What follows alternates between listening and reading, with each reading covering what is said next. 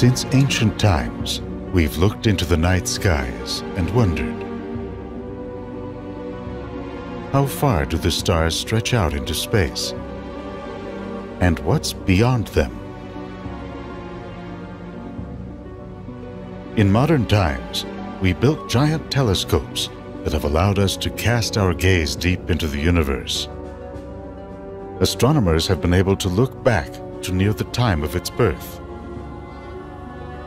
They've reconstructed the course of cosmic history in astonishing detail. From intensive computer modeling and myriad close observations, they've uncovered important clues to its ongoing evolution. Many now conclude that what we can see, the stars and galaxies that stretch out to the limits of our vision, represent only a small fraction of all there is. Does the universe go on forever? Where do we fit within it?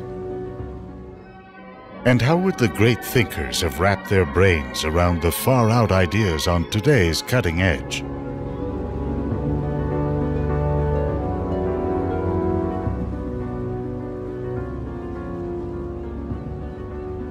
To begin to get a handle on infinity, we are going to need some perspective on the numbers and scales that define our universe. One place to start is a narrow side street in Charles Dickens' London.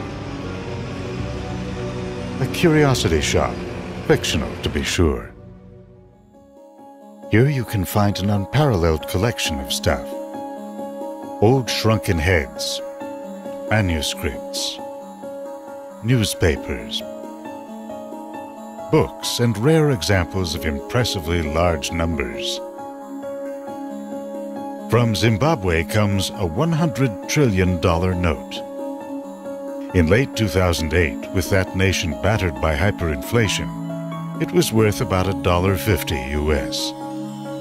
Go up two orders of magnitude to something decidedly more useful.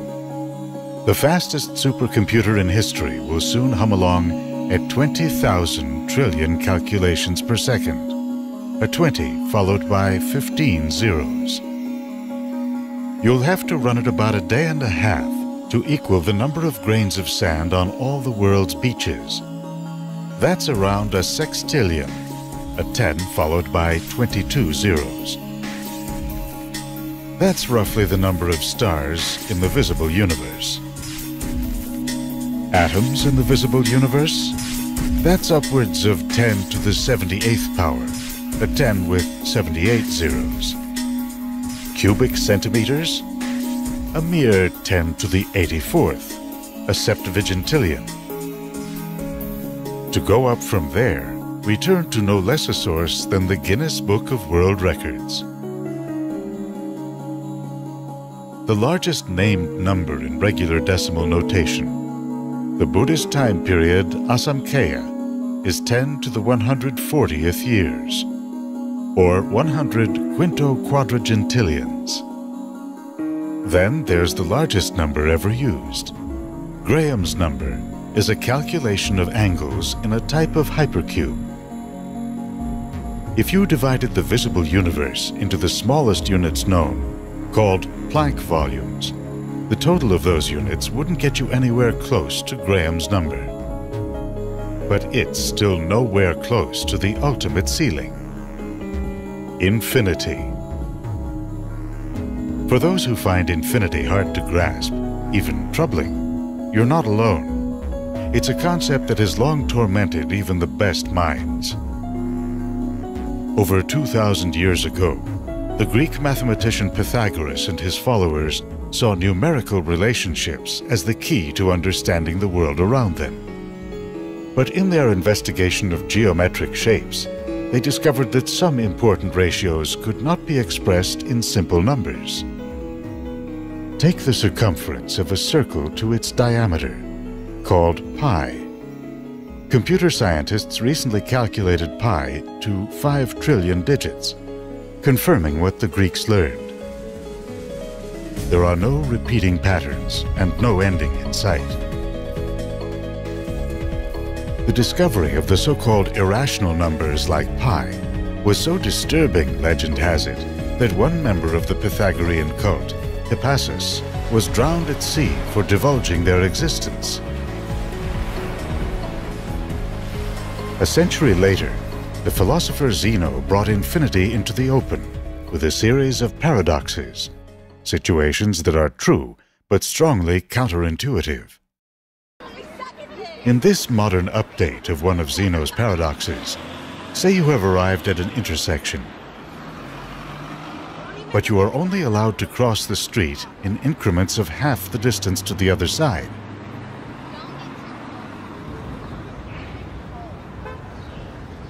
So to cross this finite distance, you must take an infinite number of steps. In math today, it's a given that you can subdivide any length an infinite number of times, or find an infinity of points along a line. What made the idea of infinity so troubling to the Greeks is that it clashed with their goal of using numbers to explain the workings of the real world. To the philosopher Aristotle, a century after Zeno, infinity evoked the formless chaos from which the world was thought to have emerged, a primordial state with no natural laws or limits, devoid of all form and content. But if the universe is finite, what would happen if a warrior traveled to the edge and tossed a spear? Where would it go? It would not fly off on an infinite journey, Aristotle said. Rather, it would join the motion of the stars in a crystalline sphere that encircled the Earth. To preserve the idea of a limited universe, Aristotle would craft an historic distinction. On the one hand, Aristotle pointed to the irrational numbers such as pi. Each new calculation results in an additional digit, but the final final number in the string can never be specified. So Aristotle called it potentially infinite. Then there's the actually infinite. Like the total number of points or subdivisions along a line. It's literally uncountable. Aristotle reserved the status of actually infinite for the so-called prime mover that created the world and is beyond our capacity to understand.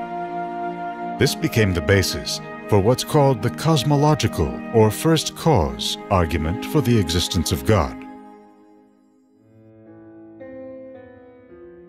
Another century later, Archimedes incorporated actual infinity into measurements of curved lines and volumes. His method boils down to a process of summation Place a triangle inside a circle. Turn it into a square, then a pentagon, and so on. As the number of sides increases to infinity, their combined lengths equal the circumference of the circle. By slicing and dicing curves into an infinite number of straight lines, he was able to compare a variety of curves, areas, and volumes. Archimedes anticipated techniques developed 2,000 years later. And yet his ideas on infinity did not carry forward due to what the author David Foster Wallace described as a mathematical allergy that developed in response to Aristotle's potential infinity. It was Aristotle's ideas that passed into the Christian era, along with his cosmology, with Earth seated firmly at the center. That view was not universal. Islamic, Hindu, and even some Western thinkers posed alternate views that included infinite space. In European circles, the issue of infinity resurfaced during the Renaissance. In 1543, the Polish astronomer Nicholas Copernicus argued that Earth orbits the Sun, not the other way around. The old Greek spheres began to fall by the wayside when a distant supernova, then a comet, were spotted by the astronomer Tycho Brahe. These objects seem to behave independently of the other stars. A monk named Giordano Bruno inflamed the issue by traveling Europe at the height of the Inquisition to proclaim an infinite universe. In the year 1600, he was burned at the stake for this and other heresies. Just nine years later, in 1609, Galileo Galilei used the first astronomical telescope to show that the universe is much larger than we thought. In later writings, he even sought to discredit the distinction between potential and actual infinity. Galileo was forced to recant and the old Aristotelian view held sway. Any attempt to assign a value to infinity, in numbers or in nature, was doomed, for that was the unique province of God. Finally, at the end of the 19th century, the mathematician Georg Cantor sought once and for all to divorce metaphysics from the abstract pursuit of math. Infinity, he wrote, had to be studied without arbitrariness and prejudice. He became known for folding finite and infinite numbers into a unified theory of number sets, considered a foundation of modern math. One of his defenders used a paradox to show how infinite sets are subject to concrete comparisons.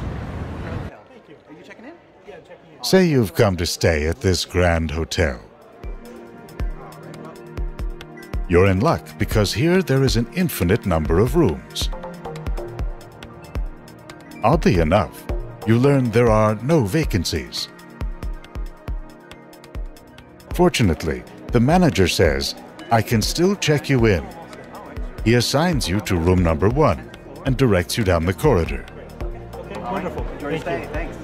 Then he goes to work, shifting the guest in room one to room two, room two to three, three to four, and so on. So in this hotel, there's a number set that includes an infinite number of guests and rooms. Then there's that same set plus you. Two infinite sets, yet one is a subset of the other. Being able to use infinite sets of different sizes allowed mathematicians to design equations describing continuous motion and change over time. Echoing Aristotle, a critic of the new set theory suggested that the end of the corridor is still only a potential infinity with God representing the only actual infinity. For those who pine for humble accommodations, we'll recommend an alternative later on. Even as mathematicians embraced infinity, astronomers in the early 20th century still saw a limited universe, centered on the galaxy, a flat disk of stars. Did the limits of our vision, like the horizon at sea, conceal an infinite universe beyond? Albert Einstein, for one, believed that if that were true, then the night sky would be filled with dense starlight shining from every direction. We'd reel from the effects of infinite gravity.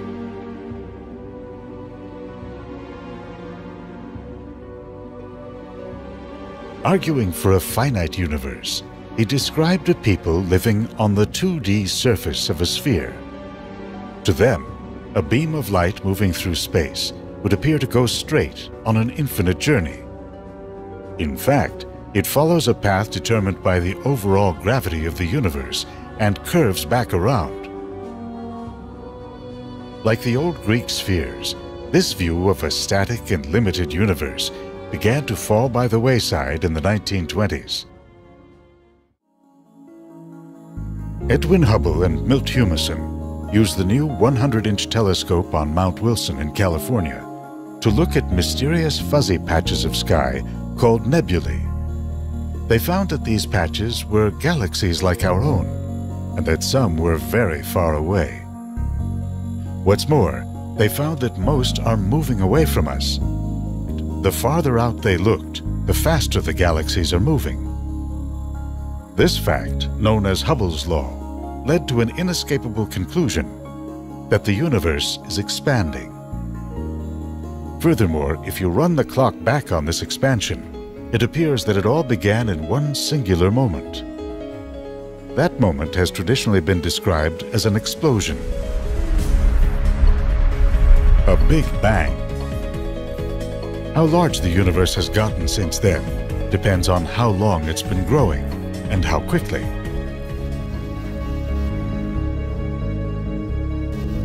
Using an array of modern telescopes, astronomers have recently narrowed the beginning to 13.7 billion years ago. Taking into account the expansion of space ever since, the radius of the visible universe, the part we can see, has expanded out to 46 billion light years. These measurements have raised anew the ancient questions. What's beyond our cosmic horizons? Is there an edge? Or does it somehow go on forever? A new set of answers has emerged from a theory designed to address questions that arose from the original model of the Big Bang. For one, how did the universe get so large? The Hubble Deep Field contains images of infant galaxies at less than 10% of the age of the universe, near the edge of our cosmic horizons. By the time one of those galaxies reached maturity, it would have moved far, far beyond our horizon. And what of all the galaxies visible at its horizons? For another, how did the universe get so smooth? In every direction you look, the density of galaxies is the same on large scales. Astronomers believe that whatever process flung the universe outward must have also blended it in its earliest moments. The theory that addresses these questions was based on the discovery that energy is constantly welling up from the vacuum of space in the form of particles of opposite charge, matter and antimatter.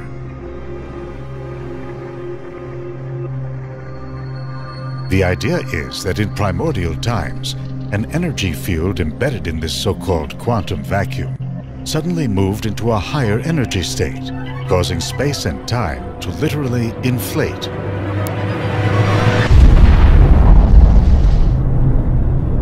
And our universe to burst forth.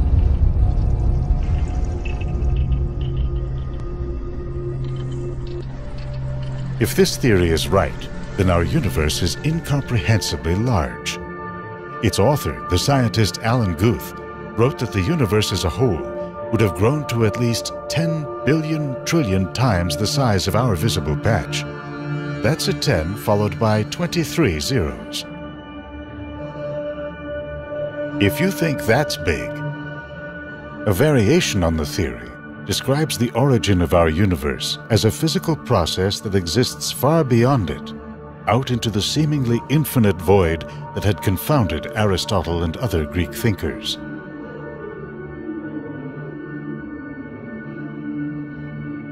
In that case, our universe would have inflated like a bubble and joined a stream of other bubble universes frothing up and expanding across an endless ocean of time and space. A related idea theorizes a cosmic landscape unfolding in vast fractal patterns. These new, more expansive visions of the cosmos are not without their paradoxes. Logically speaking, with infinite stars, infinite planets, infinite universes, you will also have infinite possibilities. The so-called infinite monkey theorem has its roots in Aristotle's attempts to illustrate the perils of thinking about infinity. Ask a monkey to type, or ask an infinite number of monkeys to type, for an infinite amount of time. You're sure to get a lot of random letters. But there is a chance, however small, that somewhere, somehow, you'll get the full text of Shakespeare's Hamlet.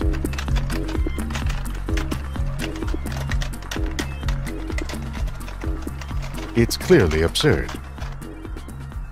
Then again, consider the increasingly strange nature of our universe, as suggested by some new observations. This is where we draw your attention from the famous Hotel Infinity to a less well-appointed alternative.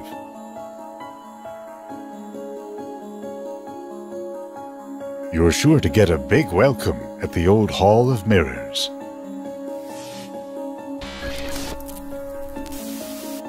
This ramshackle place would have thrown even the great thinkers for a loop.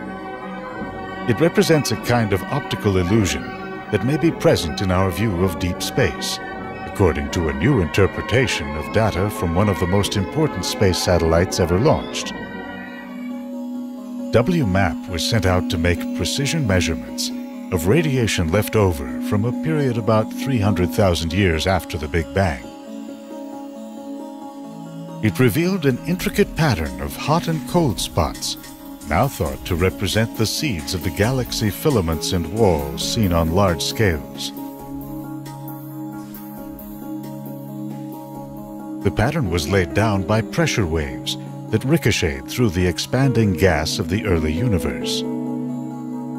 One group of scientists, looking at the sizes of these waves, suggested that some are actually mirror images of themselves, from this, they argue that the universe could be much smaller than we think.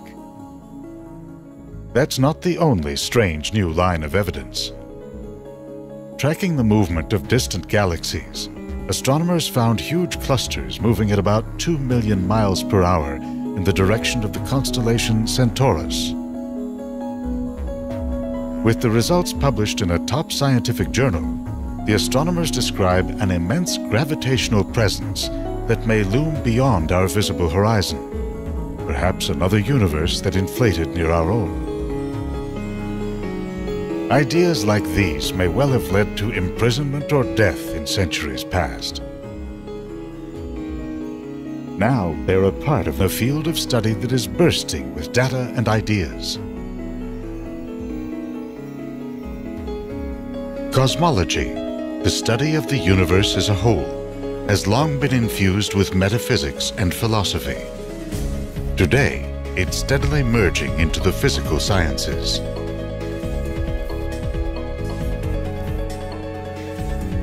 So, is the universe infinite? Scientists will continue to look for evidence of what lies beyond our horizons and to test theories on the nature of time and space but like the room at the end of an endless corridor, the final, final answer will always elude us.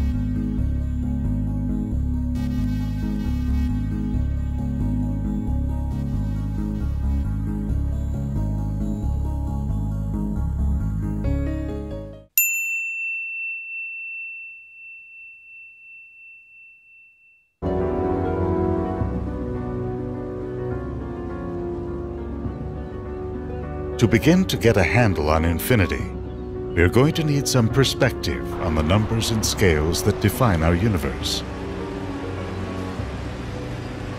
One place to start is a narrow side street in Charles Dickens' London.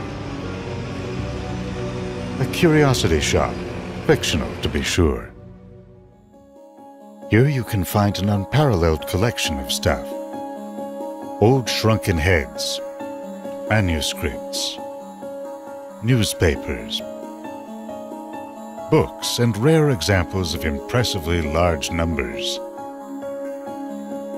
From Zimbabwe comes a $100 trillion note.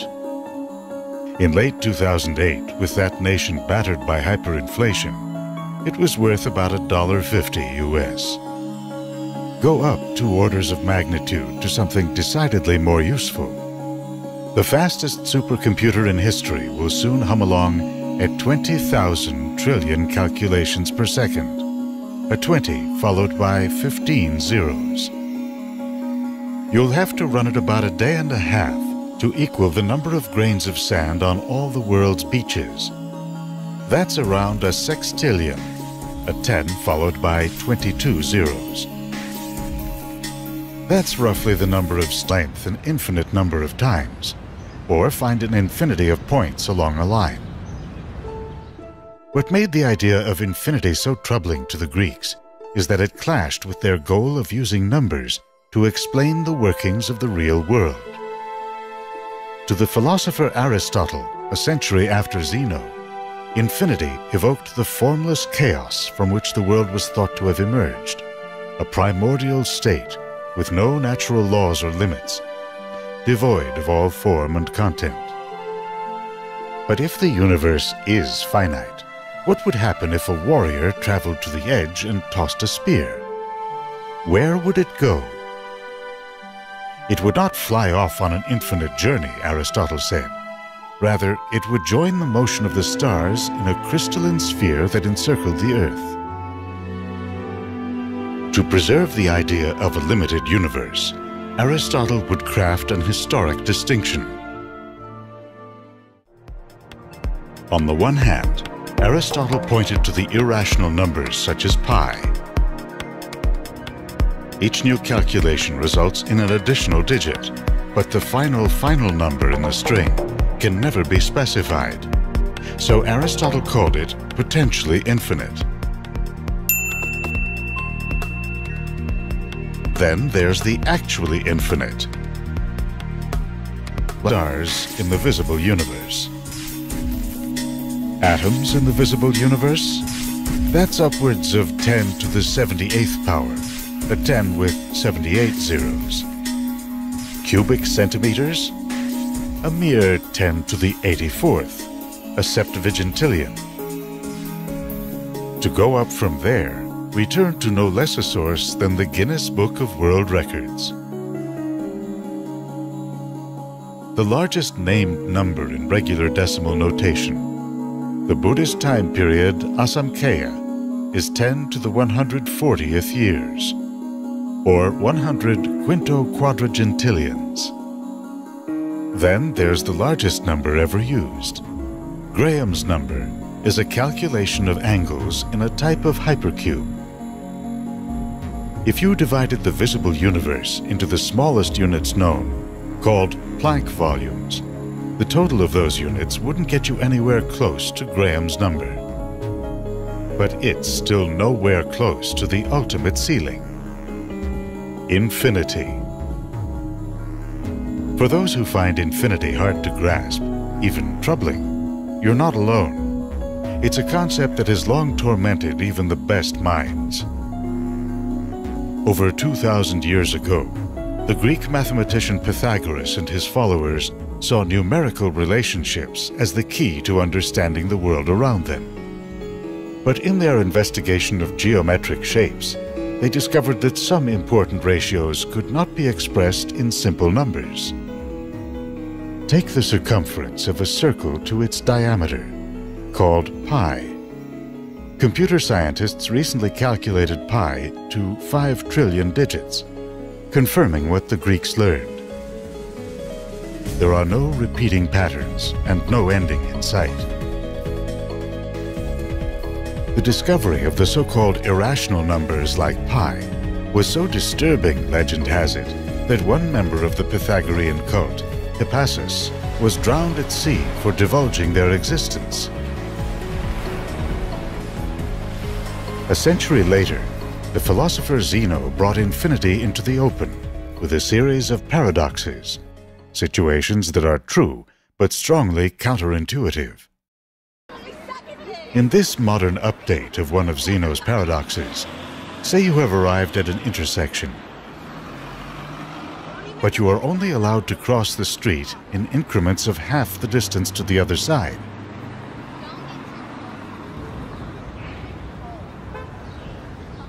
So to cross this finite distance, you must take an infinite number of steps. In math today, It's a given that you can subdivide any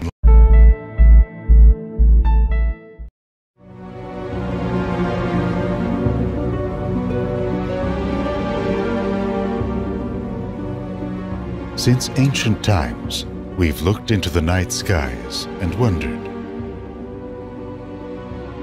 how far do the stars stretch out into space? And what's beyond them? In modern times, we built giant telescopes that have allowed us to cast our gaze deep into the universe. Astronomers have been able to look back to near the time of its birth. They've reconstructed the course of cosmic history in astonishing detail. From intensive computer modeling and myriad close observations, they've uncovered important clues to its ongoing evolution. Many now conclude that what we can see, the stars and galaxies that stretch out to the limits of our vision, represent only a small fraction of all there is. Does the universe go on forever? Where do we fit within it? And how would the great thinkers have wrapped their brains around the far-out ideas on today's cutting edge?